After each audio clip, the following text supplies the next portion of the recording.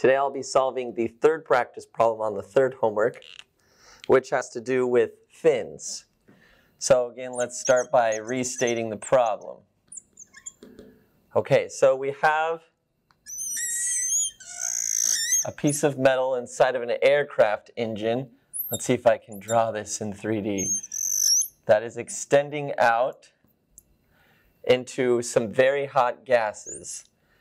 It's, oh, it's attached to this piece of metal right here, a rotating piece of machinery. Now, around this extended piece of metal is some very hot gas at T infinity of 1200 degrees Celsius. And it's moving fast, so it has a very high convection coefficient of 250 watts per meter squared Kelvin. Now, this piece of metal is somewhat tall. It is 5 centimeters, 0.05 meters. And the base is at 300 degrees Celsius. Okay, so now what we know about this actual fin that is extending upwards is its thermal conductivity, which is 20 watts per meters Kelvin. We also know the cross-sectional area. So if we take a slice out of the middle, we would know the area of that slice, which is 6 times 10 to the negative fourth meters squared. Finally, of that slice, we would also know what the perimeter is, which is 0.11 meters. So we know the cross-sectional area, thermal conductivity, and perimeter of a slice out of this fin. Okay, in this problem, we have been asked to find two things. First, this is made of nickel, which has a melting point of 1050 degrees Celsius. Well, we have a problem in that our combustion gases are hotter than the melting point of the nickel. So we've been asked to find, will it melt? In other words, is the maximum temperature in this fin going to exceed a value of 1050 degrees Celsius, the melting point of our metal? Second, we've been asked to find what is the rate of heat transfer from the fin into this base material. In this base material, there would be a fluid flowing, removing the excess heat from our fin. So what is the rate of heat removal from the fin into the base. Okay, uh, let's talk about our approach real quick. So we are first going to use an energy balance to find a governing equation.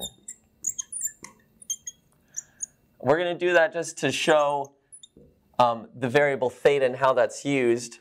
Uh, once we have that governing equation, we're not going to use it. We're going to look up a tabulated solution. So use tables to solve that governing equation. And those tables will include um, equations that tell us the temperature at any point along the length of our fin and also the heat transfer.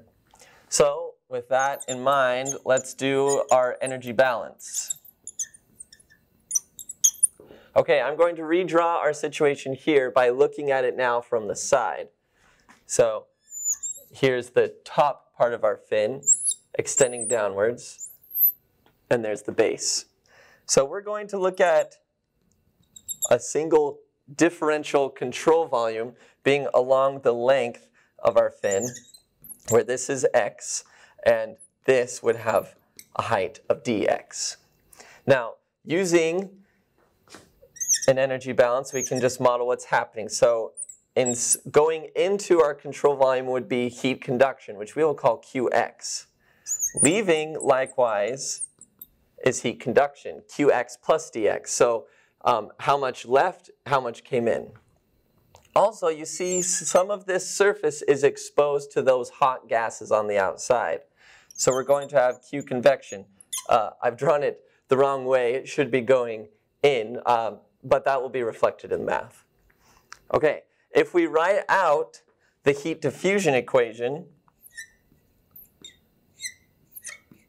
then we'll see again, like we saw with the heat diffusion equation, the difference in our heat conduction going in and coming out results in this term, a d squared T dx squared.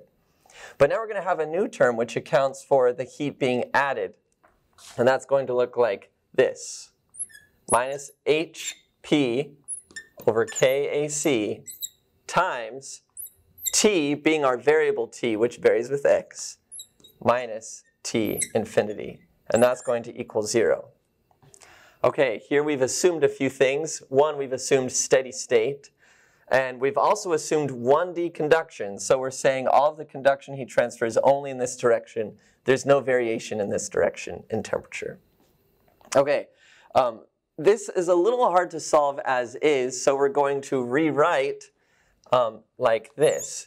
d squared theta dx squared, and we're going to subtract m squared theta equals 0. So you see, we just let theta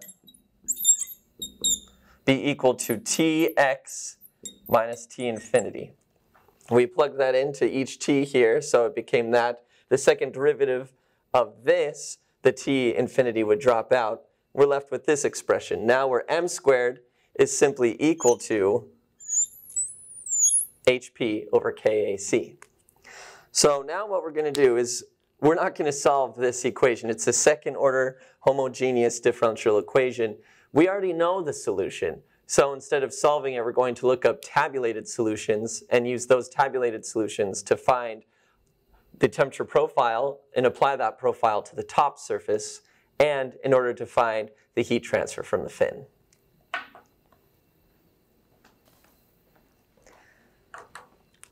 Okay, so to remember, we're going to solve this equation, d squared theta dx squared minus m squared theta equals 0, which is a governing equation telling us the temperature profile inside of a fin, where m is equal to the square root of hp over k AC.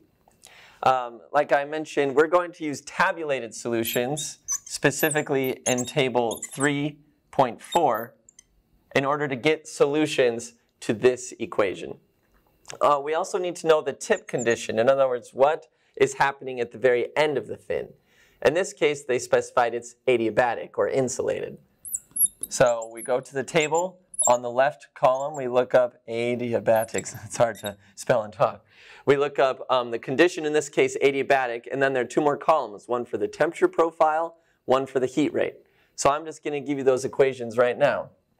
The temperature profile looks like this. Theta over theta b, theta b or um, the theta applied to the base, is equal to the hyperbolic cosine, which I'll call cosh, times m multiplied by L minus x, where maybe we should specify this. Here's our fin